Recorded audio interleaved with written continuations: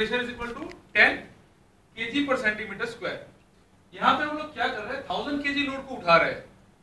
Understand but फिर क्या कर दिया हमने? एरिया बढ़ा दिया। The reason is pressure remain constant pressure यहाँ पे चेंज होने वाला नहीं है। राइट सो अल्टीमेटली आप, आपके पास क्या है जो आप चेंज कर सकते हो? दैट इज़ एरिया और लोड जो आपको उठाना है दैट इज़ डिज़ाइन कि कितने लोड के लिए वो पर्टिकुलर मशीन बनाई गई हाइड्रोलिक सिस्टम बनाई गई है। Okay so that you are actually wide in the area and hence here if you check again P is equal to F divided by so 1000 divided by 100 10 kg per centimeter square. Pressure remains constant. And this is the basic rule of hydraulic systems. Why we are using hydraulic oil then? हम लोग उसमें hydraulic oil क्यों use करते हैं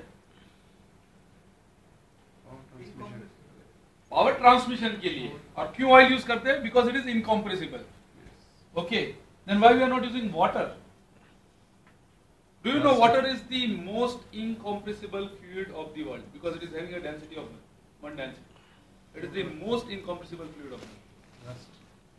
Because of so many other things.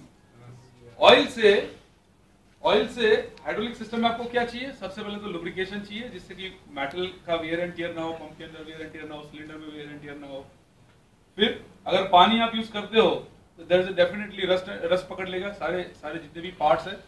Okay तो there are so many other requirement जैसे अभी load बढ़ेगा टेम्परेचर बढ़ेगा तो पानी जो वेपराइज हो जाएगा and it will create a load create a pressure itself in the system okay and then it could be possible banging हो पंप के अंदर। राइट कैविटेशंस के इश्यू है। Right so the reason why we are using hydraulic oil is because we require so many other properties also and that's the reason we are using hydraulic oil so वो क्या क्या property होनी चाहिए oil में that is that is what I am going to discuss So if you talk about the today's customers need, actually, if you if you if you just read and understand whether it is your read or, uh, whether it is your need or not, ये आपका need है कि नहीं? If you talk about reliable operations, definitely everyone's reliable operations. Nobody wants downtime. कौन parts बदलेगा कौन filter बदलने के लिए सिस्टम खड़ी करेगा कौन ऑयल चेंज करने के लिए सिस्टम को खड़ी करेगा। Nobody is having that much time production is very important we can not afford to stop the equipment okay consistent performance मतलब ये ये ऑयल एक बार आपने यूज़ किया, उसको 500 घंटे की लाइफ मिली, दूसरी बार 1000 घंटे की लाइफ मिली, तीसरी बार 700 घंटे की लाइफ मिली। सो यू नेवर कैन जज कि कब आपको स्टॉप करना है, कब ऑयल चेंज करना है, कब मेंटेनेंस लेना है, कब क्या करना है।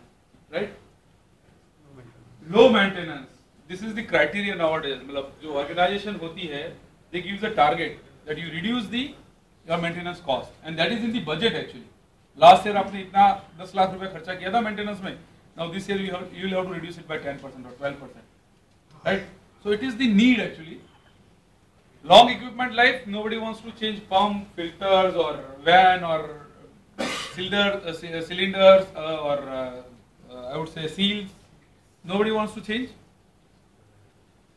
premature or unplanned failures and optimize energy cost. Okay, what is the optim uh, optimization of energy cost? Whatever you are inputting actually you should get the better output better efficiency. Okay. So that is the current need and on the left hand side if you see sorry right hand side of yourself. If you see the main problems because of which hydraulic system fails. One is the contaminations or filtrations related issues or even uh, if I have understood that most of the people are coming from the port activities or uh, material handling, right?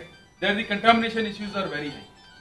Okay, probably moisture can. Uh, I'm sorry if, if, I- if I request all of you to put your mobile at least on silent mode.